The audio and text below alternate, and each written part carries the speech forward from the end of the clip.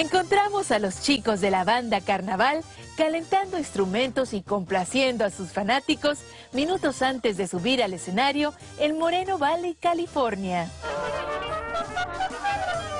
Tratamos de, dar lo mejor arriba eh, cada una de las presentaciones, tratamos de, hacerlo al máximo como si no supiéramos el día de mañana pues si, si nos va a tocar nuevamente pisar un escenario.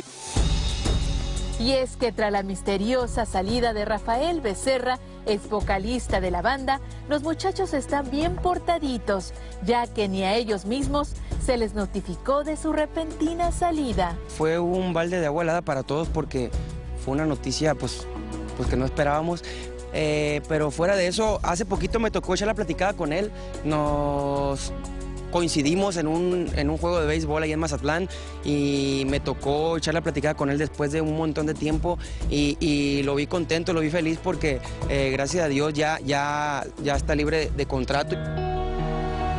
Y como de lo que se habla ahorita en el mundo grupero es del polémico video de Gerardo Ortiz, debido a que está siendo censurado y investigado por el gobierno mexicano por su alto contenido de violencia, los muchachos de carnaval le mostraron su apoyo a Gerardo. En las mismas novelas, por cierto, como dice aquí mi, camarada, se, presentan eh, escenas no muy agradables, escenas violentas.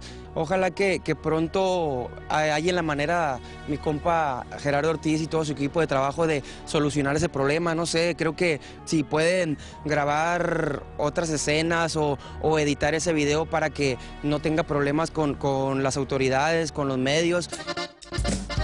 Pero mientras a Gerardo se le resuelven los problemas, los chicos de carnaval nos dejaron con el ojo cuadrado tras revelarnos que cuidan su imagen más que Sofía Vergara.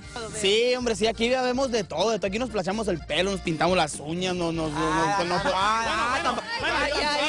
Yo te digo, yo te digo porque yo me las pinto, yo me puse esmalte porque me crezcan las uñas porque me las como. Pero lo que sí nos dimos cuenta es que los jefes de esta agrupación los traen bien cortitos que hasta lo revisan de pies a cabeza. Higiene, puntualidad, aseo, no tomar en las presentaciones. Eso de no tomar en las presentaciones, quién sabe, porque nuestro lente los captó en pleno escenario, empinándose una botella para entrar en ambiente y armar un tremendo concierto que duró hasta altas horas de la noche.